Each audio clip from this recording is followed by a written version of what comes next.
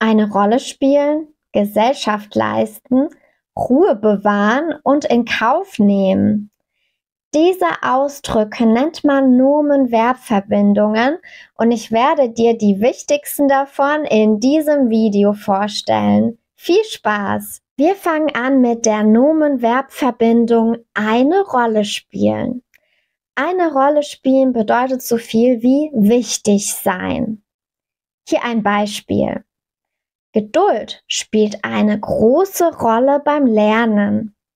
Geduld ist also sehr wichtig beim Lernen. Oder die Familie spielt eine große Rolle in seinem Leben.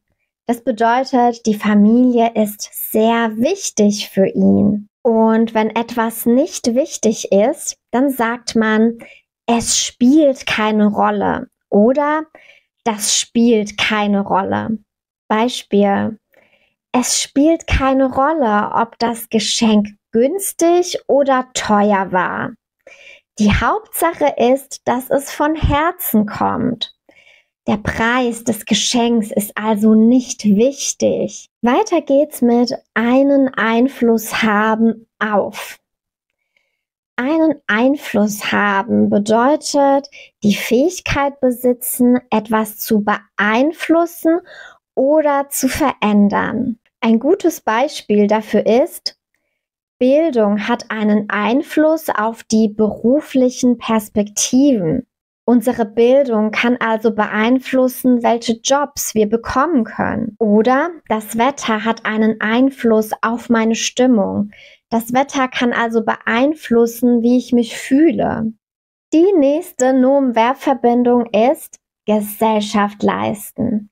Gesellschaft leisten bedeutet Zeit mit jemandem verbringen. Stell dir vor, deine deutschen Arbeitskollegen fragen dich, hey, hast du Lust, uns nach der Arbeit noch ein bisschen Gesellschaft zu leisten? Das bedeutet also, hast du Lust, nach der Arbeit noch ein bisschen Zeit miteinander zu verbringen? Hier noch zwei Beispiele. Polly beschloss, ihrer älteren Nachbarin Gesellschaft zu leisten.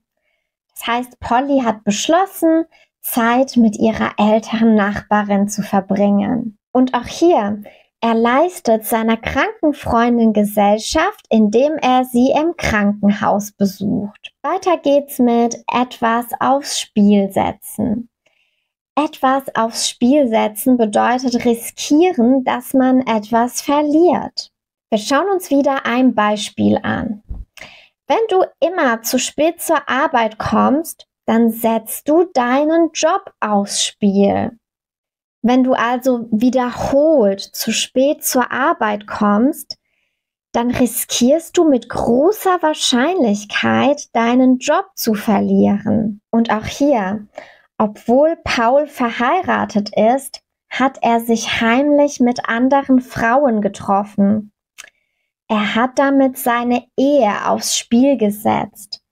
Paul hat also mit diesem Verhalten riskiert, seine Ehe zu verlieren, seine Frau zu verlieren. Und auch hier, durch seine riskante Fahrweise, setzt er nicht nur sein eigenes Leben, sondern auch das anderer Menschen aufs Spiel. Ein weiterer Ausdruck ist Ruhe bewahren. Ruhe bewahren bedeutet auch in einer schwierigen Situation ruhig bleiben. Beispiel. Der erfahrene Arzt bewahrte die Ruhe, als der Notfallpatient hereingebracht wurde. Das bedeutet, dass der erfahrene Arzt gelassen und ruhig blieb, auch in dieser Notfallsituation. Und auch hier, obwohl es technische Probleme gab, gelang es dem Piloten, die Ruhe zu bewahren und das Flugzeug sicher zu landen. Wir machen weiter mit in Erfüllung gehen. Wir benutzen in Erfüllung gehen, wenn ein Traum oder Wunsch wahr wird. Ich habe zum Beispiel sehr lange davon geträumt, eines Tages zu promovieren. Und im April 2022 habe ich dann die Zusage für eine Doktorandenstelle bekommen. Das heißt, mein Traum ist in Erfüllung gegangen. Mein Traum ist wahr geworden. Noch ein Beispiel. Pollys Traum, an einer deutschen Universität zu studieren, ist endlich in Erfüllung gegangen. Auch hier, Pollys Traum ist wahr geworden. Oder Emmys Traum, ein eigenes Haus zu besitzen, ist nach vielen Jahren des Sparens in Erfüllung gegangen. Das heißt, Emmy hat jetzt ein Haus, ihr Wunsch, ihr Traum ist wahr geworden. Und wie sieht's aus mit in Kauf nehmen? In Kauf nehmen bedeutet auch die negativen Seiten einer sonst guten Sache akzeptieren. Ein gutes Beispiel dafür ist, wenn du befördert werden möchtest, dann musst du auch die Überstunden in Kauf nehmen. Eine Beförderung ist gut, aber man muss auch die negativen Seiten, in diesem Fall die Überstunden, akzeptieren. Hier noch zwei Beispiele. Ich musste die längeren Arbeitszeiten in Kauf nehmen, um das Projekt rechtzeitig fertigzustellen. Auf der einen Seite habe ich das Projekt erfolgreich beendet, aber auf der anderen Seite musste ich die längeren Arbeitszeiten akzeptieren. Und auch hier, er entschied sich, den günstigeren Flug zu buchen und dafür die längere Wartezeit in Kauf zu nehmen. Auf der einen Seite haben wir den günstigen Flug und auf der anderen Seite die längere Wartezeit, die wir in Kauf nehmen müssen. Wir kommen nun zur letzten Nomen-Verbverbindung für heute in Ruhe lassen. Das bedeutet jemanden nicht stören. Hier ein Beispiel. Kannst du mich bitte in Ruhe lassen, wenn ich arbeite? Damit meine ich, bitte stör mich nicht, wenn ich arbeite. Je nach Kontext kann der Ausdruck aber auch auf eine sehr unfreundliche Art und Weise benutzt werden. Wie zum Beispiel hier. Du nervst, bitte lass mich endlich in Ruhe. Hier noch ein Beispiel. Der Hund schlief friedlich, also ließ ihn die Familie in Ruhe. Die Familie störte den Hund also nicht beim Schlafen. Und jetzt wiederholen wir noch einmal alle Nomen-Verbverbindungen, die wir heute gelernt haben. Eine Rolle spielen bedeutet wichtig sein. Geduld spielt eine große Rolle beim Lernen. Geduld ist also sehr wichtig beim Lernen. Und wenn etwas nicht wichtig ist, dann sagt man, das spielt keine Rolle oder es spielt keine Rolle. Einen Einfluss haben auf bedeutet etwas beeinflussen oder verändern können. Das Wetter hat einen Einfluss auf meine Stimmung.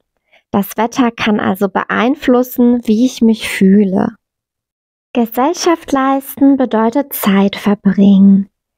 Er leistet seiner kranken Freundin Gesellschaft, indem er sie im Krankenhaus besucht. Aufs Spiel setzen bedeutet riskieren, dass man etwas verliert.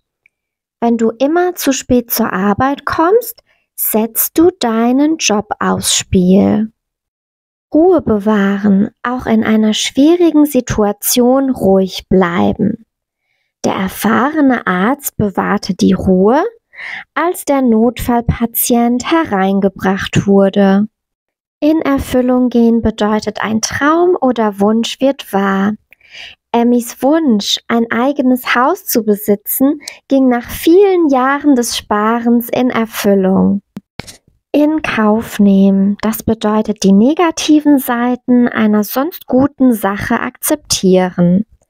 Wenn du befördert werden willst, musst du auch die Überstunden in Kauf nehmen. In Ruhe lassen heißt nicht stören. Bitte lass mich in Ruhe, während ich lerne. Wir haben es geschafft. Juhu! So, meine Lieben, das war's für heute. Ihr wart sehr fleißig und könnt stolz auf euch sein. Ich freue mich schon auf unseren nächsten Unterricht. Bis bald. Tschüss.